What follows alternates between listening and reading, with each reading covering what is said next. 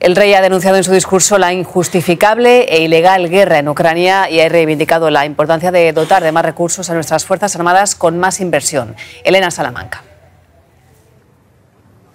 Pues sí, tanto Felipe VI como la ministra de Defensa han coincidido en sus discursos en esa idea. Margarita Robles, además, ha dicho que invertir en defensa es invertir en paz y en seguridad. Y el rey ha pedido dotar a las Fuerzas Armadas con todos los recursos posibles para garantizar la formación, la modernización y también las mejoras en las capacidades militares. Todo esto en un año marcado por la guerra en Ucrania.